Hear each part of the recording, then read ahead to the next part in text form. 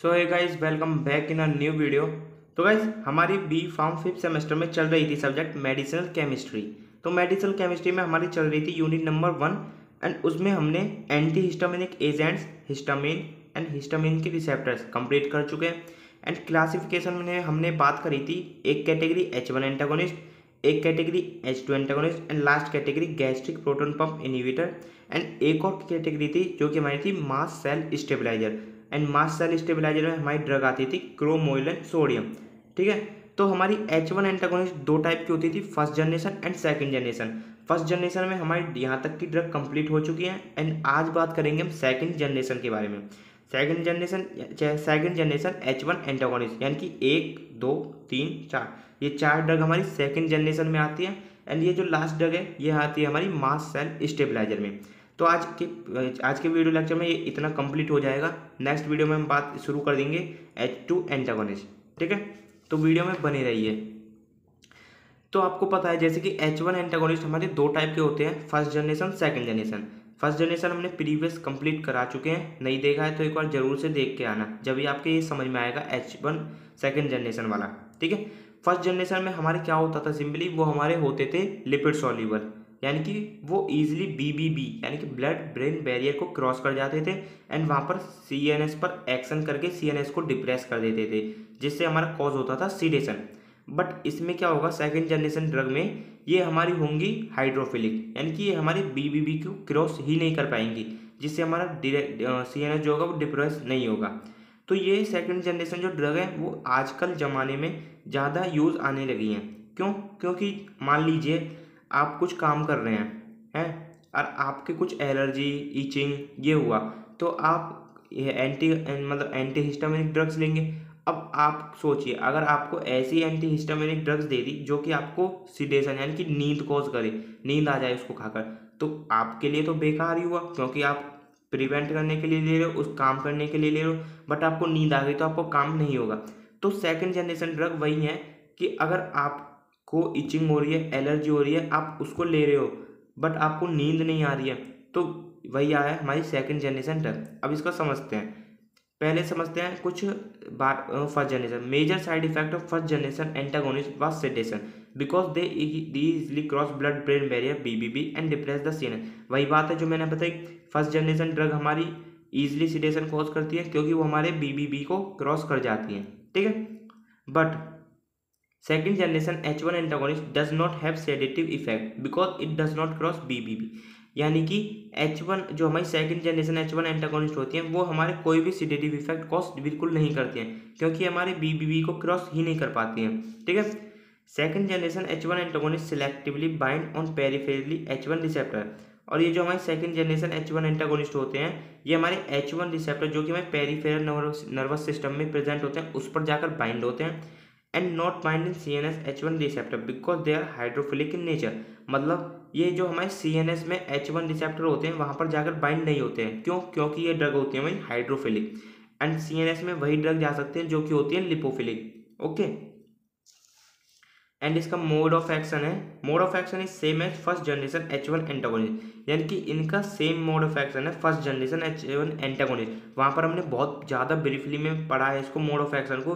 अगर आपने नहीं पढ़ा है तो एक बार उसको ज़रूर से पढ़ के आना। ठीक है? जब भी आपको ये सेकेंड जनरेशन का भी मकनिज़म ऑफ़ एक्शन समझ में आएगा। फ़ंक्शन एंड इफ़ेक्ट इसका सेम हो जाएगा first generation H one antagonist की तरह। ठीक है? अब बात कर लेते हैं हम ड्रग्स की। ड्रग्स कौन कौन सी है हमारी इसमें? ये एस्टिमेजोल लोराटेडिन सिट्राजिन लिवोसिट्राजिन ये चार ड्रग हैं। चार ड्रग के हमारे structure mode of action and uses देख लेते हैं। तो फ़र्स्ट है हमारा एस्टिमेजोल तो एस एस्टिमेजोल स्ट्रक्चर आपके सामने देख लो। ठीक है? एंड इसके बाद करते हैं mode of action and use इसके बारे में। मोड ऑफ़ एक्शन वही हो जाएगा। It is selective H one receptor antagonist यानी कि एच वन रिसेप्टर एंटागोनिस्ट है।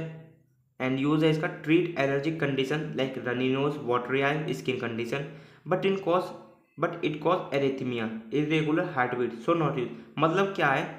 ये हमारी एलर्जी कंडीशन, यानी कि एलर्जी को तो ट्रीट कर रही है बट एरेथीमिया भी कॉज कर रही थी, कर रही है। एरेथीमिया क्या है? हमारा इरेगुलर हार्ट बीट इसी कारण से हम इस ड्रग को नहीं लेते हैं, इस ड्रग को हम नहीं प्रेफर करते हैं। एंड इसका मैकेनिज्म ऑफ़ एक्शन आपको ब्रीफली में समझना है तो प्रीवियस वीडियो में जाकर देख सकते हैं एच वन एंटागोनिस्ट में फ़र्स्ट जनरेशन वाले वीडियो में हमने बिल्कुल बहुत अच्छे से समझाया है। ठीक है? नेक्स्ट ड्रग आती है हमारी लोराटीडिन लोराटीडिन ये रहा structure mode of action use same हो जाएगा इसी ड्रग की तरह, ठीक है? सिट्राजीन है सिट्राजीन का स्ट्रक्चर देख लिए मोड ऑफ़ एक्शन वही है ब्लॉक करेगा एच वन रिसेप्टर को एंड यूज़ हमारे सेम हो जाएँगे। यूज़ क्या मतलब? यूज़ होते हैं हमारे मतलब क्या कर रहे हैं? एंटी हिस्टामिक ड्रग सबका यूज़ सेम ही है, यानी कि runny nose water eye conjunctivitis and skin condition जो कि हमारे रेसिस वैसिस होता है रेड स्किन हो जाती है, सबको, ये मतलब एलर्जी इसी को कॉज करेगी एंड यही हमारे यूजेज होते हैं। सारी ड्रग के यही यूज़ है, ठीक है? एंड लास्ट डेगा हमारी लीवोसिट्राजिन लीवोसिट्राजिन स्ट्रक्चर ये रहा mechanism of action uses same हो जाएँगे, ठीक है? इसका मैकेनिज्म ऑफ़ एक्शन गाइस बहुत अच्छे से हमने समझाया है प्रीवियस यानी कि पिछली वाली वीडियो में, जो कि हमारा फ़र्स्ट जनरेशन एच वन ठीक है?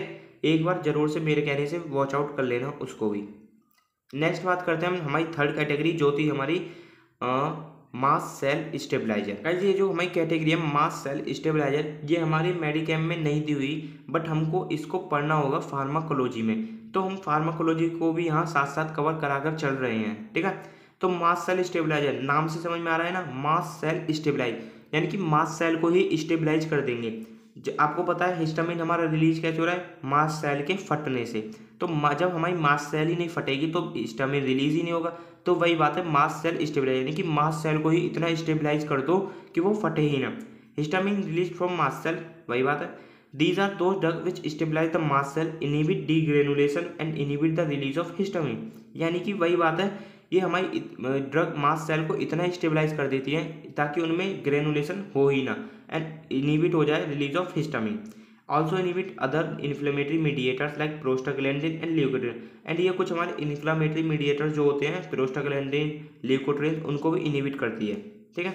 एक ही ड्रग है इसकी, वो है क्रोमोइलन सोडियम तो स्ट्रक्चर ये रहा आपके सामने। मोड ऑफ़ एक्शन वही हो जाएगा। It work by inhibiting the degranulation of mast cell so histamine can not release यानी कि डी ग्रेनुलेशन करता है मास सेल की। मतलब वो फट ना पाए। कौन हमारी मास सेल जो होती है, वो फट ना पाए।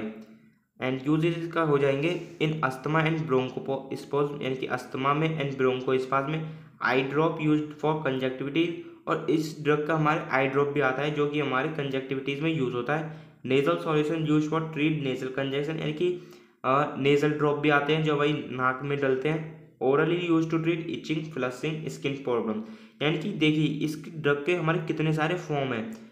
यानी कि इनहेलर्स के रूप में भी आ रही है आई ड्रॉप के भी नेजल ड्रॉप के भी और ओरली भी दे सकते हैं। ठीक है?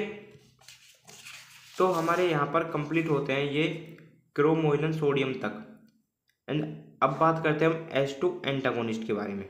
ओके गाइज़ अब बात करते हैं H two antagonist H two antagonist क्या है? These are those drug which block the H two receptor present in the stomach यानी कि एच टू एंटागोनिस्ट हमारे सिंपली काम करेंगी स्टोमक में जो हमारे एच टू रिसेप्टर होते हैं, उन पर जाकर बाइंड होंगी और उनको ब्लॉक कर देंगी. ठीक है? मतलब सिंपली स्टोमक में ही जो हमारे एच टू रिसेप्टर वहाँ प्रेजेंट होते हैं. By blocking H two receptor they decrease the production of acid in the stomach यानी कि जो हमारे एच टू रिसेप्टर को ब्लॉक कर देंगी तो हमारे एसिड का जो प्रोडक्शन होगा, वो डिक्रीज हो जाएगा। H two antagonist all known as gastric acid inhibitor and इसको हम गैस्ट्रिक एसिड इनिबिटर भी कहते हैं। एग्ज़ाम्पल देख लीजिए रेनिटिडिन सिमेटिडिन फोमेटिडिन अब इसका हमको सार भी देखना पड़ेगा, क्योंकि एग्ज़ाम में बहुत बार पूछा गया है, SAR of H two antagonist H two antagonist structure antagonist of histamine यानी कि वही बात है स्ट्रक्चरल एंटागोनिस्ट है हिस्टामिन की तरह ही इनका स्ट्रक्चर होगा। H two antagonist are not as H one antagonist यानी कि एच टू के एंटागोनिस्ट और एच वन एंटागोनिस्ट एक जैसे नहीं है, बहुत अलग अलग हैं। H two antagonist are very polar in nature ये जो एच टू एंटागोनिस्ट होते हैं, ये हमारे बहुत ज़्यादा पोलर होते हैं नेचर में। इसका समझिए आप बेसिक स्ट्रक्चर बेसिक स्ट्रक्चर में क्या है? एक होगी हमारी इमीडाजोल रिंग ठीक है? ये इमीडाजोल रिंग होगी। एक होगा हमारा एल्काइल ग्रुप जो कि होगा इमीडियट इमीडाजोल रिंग से कनेक्ट एंड एक होगी हमारी कार्बन चैन विद सल्फ़र यानी कि ये देखिए कार्बन चैन है, बीच में आ रहा है हमारा सल्फ़र सल्फ़र रहना नेसेसरी है ओके आगे सार में बात करेंगे हम. एंड फोर्थ होता है एक हमारा नाइट्रोजन ग्रुप तो हमारा सार में यही चार्ट पॉइंट पर हमको सार, यानी कि स्ट्रक्चर एक्टिविटी रिलेशनशिप देखनी है. मतलब इन चारों के हटने से, इन चारों के बढ़ने से क्या फ़र्क पड़ रहा है हमारे सार में? हमारी ड्रग में, वही हमको देखना है। क्या पहला देखेंगे इमीडाजोल रिंग में सेकंड देखेंगे एल्काइल ग्रुप में थर्ड देखेंगे कार्बन चैन विद सल्फ़र में फोर्थ देखेंगे नाइट्रोजन में। ठीक है? बात करते हैं फ़र्स्ट इमीडाजोल रिंग तो imidazole ring is necessary for H two antagonist activity heterocyclic ring यानी कि एच इमीडियोल रिंग जो है, वो बहुत ज़रूरी है एच टू एंटागोनिस्ट एक्टिविटी के लिए। ठीक है? And if we replace it with other heterocycle ring like fluorene and thiazole so potent drug produce यानी कि अगर इस हमारी इमीडाजोल रिंग को हम चेंज कर देते हैं किसी अदर हाइड्रोसाइक्लिक रिंग यानी कि फ्यूरेन से थायोजोल से तो हमारी एक बहुत अच्छी पोटेंट ड्रग प्रोड्यूस होती है। एग्जांपल जैसे कि हमारा रेनिटीडीन एंड नेक्स्ट पॉइंट है if we add basic moiety like dimethyl amino methyl और guanidine on heterocyclic ring so activity increase अगर हम इस इमीडाजोल रिंग पर कोई भी हम basic moiety, basic group, basic atom attach कर देते हैं, जैसे क्वानिडीन हो गया डाईमिथाइल अमीनो मिथाइल हो गया तो हमारी एक्टिविटी इंक्रीज हो जाएगी ड्रग की। एग्ज़ाम्पल है जैसे कि फोमेटिडीन। इनका स्ट्रक्चर आप एंड सेकंड हमारा पॉइंट आता है एल्काइल ग्रुप एल्काइल ग्रुप पर देखते हैं here substitution in imidazole ring furan ring is necessary यानी कि जो हमारी रिंग है, उस पर एल्काइल ग्रुप का सब्सटीट्यूशन बहुत ज़्यादा ज़रूरी है। ठीक है? If R is equal to C S three methyl group so give potent action यानी कि अगर जो हमारा मिथाइल एल्काइल ग्रुप है, वो मिथाइल ग्रुप होगा तो हमारी एक बहुत ही ज़्यादा बढ़िया पोटेंट ड्रग ऑप्टेंड होगी, जैसे कि एग्ज़ाम्पल इसका रेनिटिडीन थर्ड बात करते हैं carbon chain with sulphur it contains either four carbon और three carbon long chain containing sulphur atom यानी कि इसमें हमारा चार कार्बन या तीन कार्बन चैन कार्बन की लॉन्ग चैन बीच में सल्फ़र होना ही चाहिए. Sulphur atom should present in middle if S atom is next to heterocyclic ring so activity decrease यानी कि कहने का मतलब क्या है? जो हमारा सल्फ़र होगा, वो बीच में होगा कार्बन चैन के। अगर सल्फ़र हमारा हाइड्रोसाइक्लिक रिंग के जस्ट बगल में होगा तो एक्टिविटी डिक्रीज हो जाएगी। If sulphur item replace by methylene C H two so activity decrease यानी कि अगर सल्फ़र को हम किसी भी अदर ग्रुप जैसे कि मिथाइलिन ग्रुप से रिप्लेस करते हैं तो उसकी एक्टिविटी डिक्रीज होगी। ठीक है? फोर्थ बात फोर्थ बात करते हैं हम नाइट्रोजन ग्रुप। नाइट्रोजन ग्रुप यानी कि for maximum antagonist activity. Nitrogen group must है हमारी एंटागोनिस्ट एक्टिविटी के लिए। The terminal nitrogen group should be polar and acidic group are attach like thyroid यानी कि एन ग्रुप पर हम कोई भी पोलर और एसिडिक ग्रुप अटैच कर सकते हैं तो हमारी पोटेंट ड्रग ऑप्टेंड होगी। जैसे एग्ज़ाम्पल है फेमोटिडीन। गैस हमने इसकी बात कर ली है सार की एच टू एंटागोनिस्ट के बारे में पढ़ लिया है। एंड नेक्स्ट वीडियो में हम इसके देखेंगे mechanism of action and cimetidine की synthesis and famotidine and ranitidine का structure mode of action and usages ठीक है? तो आज की वीडियो में इतना ही। हमारे H two H one antagonist second generation वाले कंप्लीट होते हुए मास सेल स्टेबलाइजर देख लिया हमने एंड एच टू एंटागोनिस्ट का इंट्रोडक्शन देख लिया, सार देख लिया। तो बात करते हैं हम नेक्स्ट वीडियो लेक्चर में। जब तक के लिए टेक केयर बाय बाय